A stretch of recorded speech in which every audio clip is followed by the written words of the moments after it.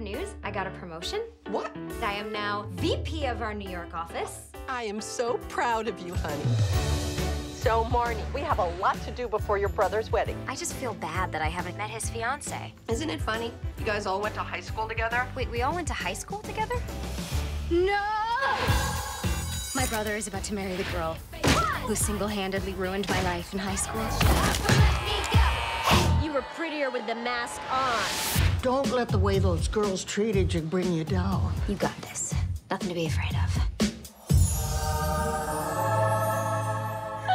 Hugsies! I can't relate to what I went through. Nobody gets through high school unscathed. I knew one girl who made my life hell. Aunt Mona, this is Will's mom. Gail? Ramona. How long has it been? well, don't tell or I'll have to strangle you. High school was a horror movie. This weekend is the sequel. Don't turn everything into a competition. You were cheerleading captain at Ridgefield? What I'm about to do is deeply, deeply.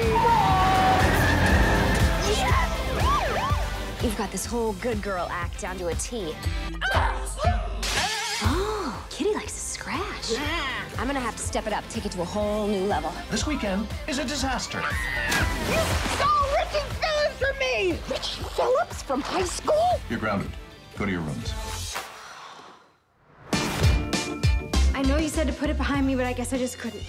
You're human. Making mistakes is part of what we do. It's how we go about fixing them that matters.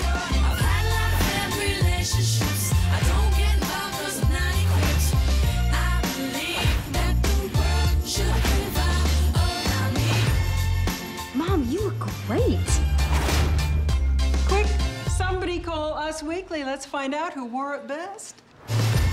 You again. You probably had lots of boyfriends, right, Joanna? Tim!